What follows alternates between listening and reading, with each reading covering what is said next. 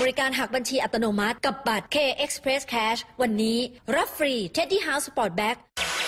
ซีริต้าถือหมอนงานบวชให้ขันเงิน ชัวร์100%สามีของ Gwen Stefani นอกใจไปคบพี่เลี้ยงลูกตัวเอง ที่แต่งตัวเรียนแบบนักร้องสาวเหมือนกันยังกับแกะร่วมพูดคุยกับ 3 นางงามที่ชนะการประกวด Miss International Queen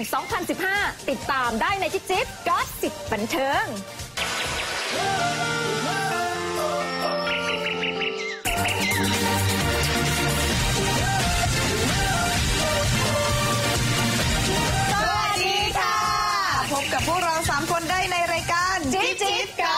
บบันเทิงกับครีพัสวีพิษค่ะ หญิงสุดารัตน์ค่ะ และเฟรมสลิตาค่ะ ขอเริ่มต้นข่าววันนี้นะคะ ด้วยข่าวนี้เลยค่ะหนุ่มคนนี้นะคะ เมื่อไรจะแต่งสักทีนะคะพี่ขันเงิน พี่ขันเงิน พี่ขันเงินกับคุณซิริตาสาวซีริต้ารออยู่ค่ะแต่ข่าวบวชมาก่อนนะคะเอ่อก็นี่ไงก็ต้องบวชก่อนแล้วค่อยเบียดไง ถูกไหมหลังจากนั้นแต่เริ่มบวชกันยาปีหน้านะคะก็เท่ากับว่าซีริต้าต้องรอต่อรอไปก่อนใช่ค่ะ เลิกษ์ของหนุ่มขันเงินนะคะออกมาแล้วนะคะว่าจะอุปสมบทค่ะที่วัดเบญจมะบพิษนะคะในปีหน้าเดือนกันยานะคะ แล้วก็พวกเราค่ะค่ะตั้งตารอว่าเอ๊ะใครจะเป็นคนถือหมอน แต่หนุ่มขันบอกเลยค่ะ ว่ายังไงก็เป็นริต้าร้อยเปอร์เซ็นต์ค่ะยังเลยครับ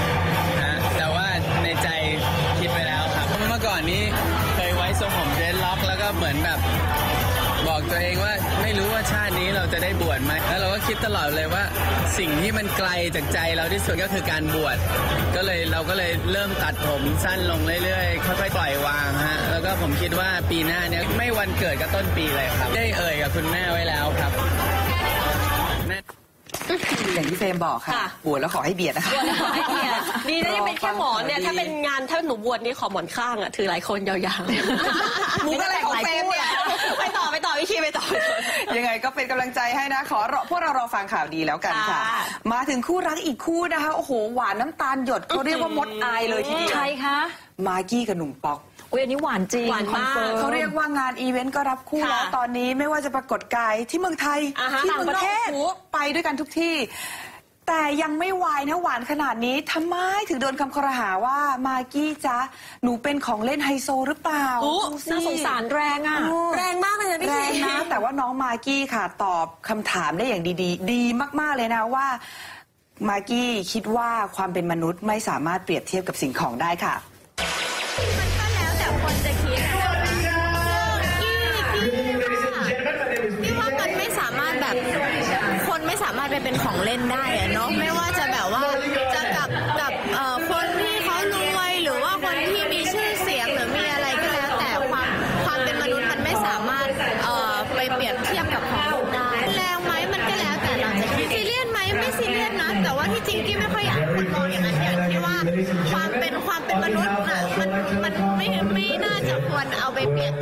สิ่งของหรือว่า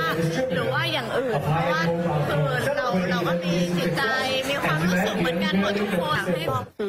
มแรงไหมตอบนิ่งๆแรงแต่ได้ใจความมากเลยนะเพราะคะเขารู้อยู่แล้วไงคะว่าค่ะเขาสองคนคบกันเพราะเขารักกันจริงใช่ๆไม่มีอย่างอื่นมาแอบแฝงเลยนะคะค่ะมาถึงกะความคืบหน้าค่ะ อาการป่วยของคุณปอทฤษฎีนะคะ ตอนนี้ค่ะมีแถลงการฉบับที่ 5 ออกมาแล้วนะคะ ของโรงพยาบาลรามาธิบดีนะคะ อาการทั่วไปค่ะคงที่ตลอดคืนนะคะสัญญาณชีพทั่วไปคงที่แต่ยังต้องใช้ยากระตุ้นความดันอย่างต่อเนื่องนะคะ ปอดขวาค่ะมีลักษณะดีขึ้น ตอนนี้ยังคงใช้เครื่องฟอกไตนะคะ และเครื่องพยุงการทำงานของปอดและหัวใจ โดยสรุปนะคะผู้ป่วยยังอยู่ในภาวะวิกฤต และต้องยังคงเฝ้าระวังอย่างต่อเนื่องค่ะและเมื่อวานนี้ค่ะ คุณวินิตเลิศรัตนชัยนะคะผู้บริหารบริษัท Fresh Air Festival จำกัดนะคะที่เป็นผู้จัดนะคะการแสดงพระมหาชนก The Phenomenon Live Show เมื่อปีที่แล้วนะคะค่ะที่คุณปอได้แสดงนำเป็นพระมหาชนกค่ะ ได้เดินทางมาที่โรงพยาบาลนะคะ แล้วก็ได้แจ้งข่าวดีค่ะว่า การแสดงพระมหาชนกเนี่ยได้รางวัลนะคะจากประเทศมาเลเซียนะชื่อรางวัลชื่อ AF ECA Award 2015 เมื่อไม่กี่วันนี้เองค่ะ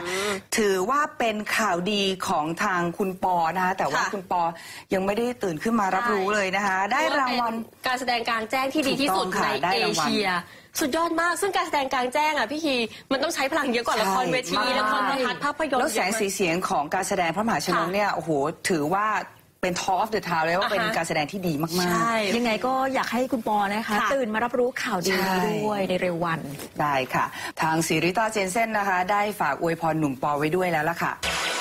ตอนนี้ความห่วงใยจากทั้งแฟนคลับและเพื่อนศิลปิน ส่งมาถึงปอทฤษฎีอย่างมากมายทีเดียวนะคะ หนึ่งในนั้นก็คือซิริต้าเจนเซนเพื่อนดาราร่วมสังกัดกับหนุ่มปอ แม้จะยังไม่มีเวลาไปเยี่ยมที่โรงพยาบาล แต่ก็ฝากกำลังใจถึงปอและครอบครัว ส่วนตัวก็สวดมนต์ให้เพื่อนปอหายไวๆค่ะ อยากให้ทุกคนนะคะ ช่วยเป็นกำลังใจให้กับพี่ปอและลิต้าเชื่อว่าทุกอย่างจะต้องดีเองค่ะลิต้าก็ยังมีความหวังนะคะ แล้วก็สวดมนต์ให้ด้วยก็ขอให้ปอหายเร็วๆนะคะ แล้วก็กลับมาอยู่หน้าจอทีวีได้เหมือนเดิมค่ะ ไปเยี่ยมเมื่อไหร่เหรอคะก็ยังยังไม่รู้เลยเพราะว่าตัวเขาก็ต้องพักผ่อนด้วยอะค่ะ แต่ถ้าเกิดเขาดีขึ้นแล้วเราก็ไปเยี่ยมแน่นอน แล้วก็ฝากกำลังใจให้กับเขาแล้วก็ครอบครัวของคุณปอด้วยค่ะ ได้เวลาที่หนูๆเตรียมตัวไปประจนภัยในยุคน้ำแข็งที่เหนือจินตนาการไปกับซิดแมนนี่ดีเอโกและของเพื่อนที่จะสร้างความสนุกสนานให้กับทุกคนในครอบครัว กับการแสดงบนลานน้ำแข็งครั้งแรกใน Ice Age Life a Mammoth Adventure บอกเล่าเรื่องราวการประจนภัยของเหล่าสรรพสัตว์ที่สุดแสนจะไม่ธรรมดาจากยุคน้ำแข็งเมื่อ 20,000 ปีก่อน การแสดงชุดนี้ได้มีการผสมผสานกันอย่างลงตัว ทั้งฉากอันน่าเหลือเชื่อ ดนตรี เพลง การแสดงกายกรรม ลีลาการเล่นสเก็ตน้ำแข็งสุดพิเศษ รวมถึงมีการแสดงโชว์กลางอากาศด้วยล่ะค่ะ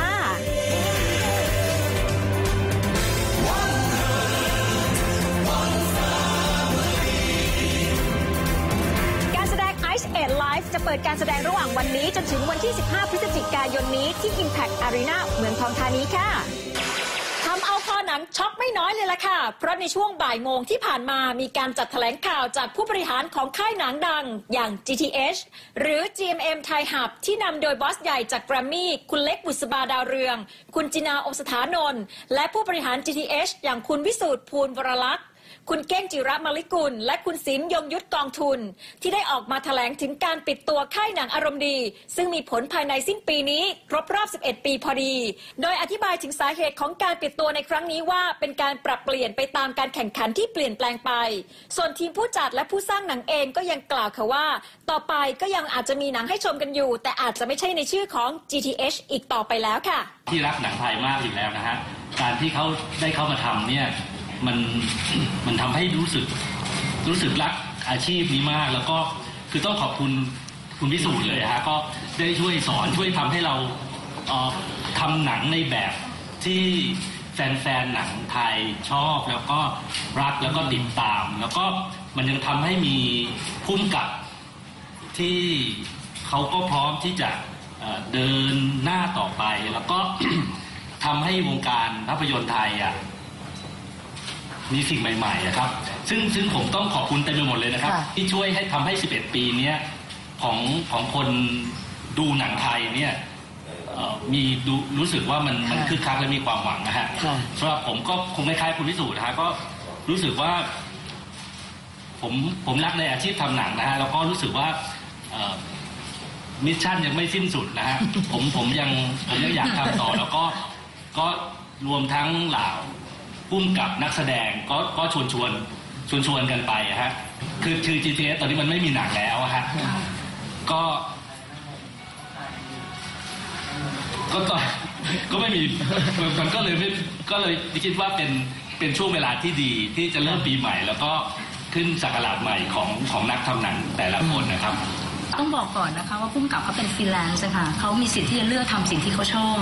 นักแสดงก็เหมือนกันค่ะ วันนี้เนี่ยนักแสดงเองถึงแม้ว่าเซ็นก็เซ็นอยู่กับนาดาวเซ็นอยู่กับ GTH บ้างนักแสดงก็มีสิทธิ์ที่จะเลือกว่า หลังจากนี้เขาจะมีชีวิตในการทำงานของเขาอย่างไรค่ะเพราะว่าทั้งสามไม่ว่าจะเป็น G หรือ T H เนี่ยก็เป็นผู้ใหญ่ที่เขานับถือแล้วก็ทำงานร่วมกันมาค่ะทางด้านของนักแสดงในสังกัดของ GTH เองนั้น ผู้บริหารได้แจ้งเขาว่ามีการบอกล่วงหน้ากับทุกคนเป็นที่เรียบร้อยแล้ว และให้อยู่ที่ดุลยพินิษของแต่ละคนต่อไป และจะมีงานแถลงข่าวอย่างเป็นทางการอีกครั้งในช่วงเดือนธันวาคมนี้ค่ะจิ๊บจิ๊บทิปบันเทิง ผลงานในวงการบันเทิงชิ้นแรกของซิริต้าเจนเซนคือถ่ายแบบโฆษณาผลิตภัณฑ์ทำความสะอาดหน้าซีบรีดชุดสนธยาหายไปไหน ซึ่งในตอนนั้นเธอมีอายุเพียงแค่ 13 ปีเท่านั้นค่ะ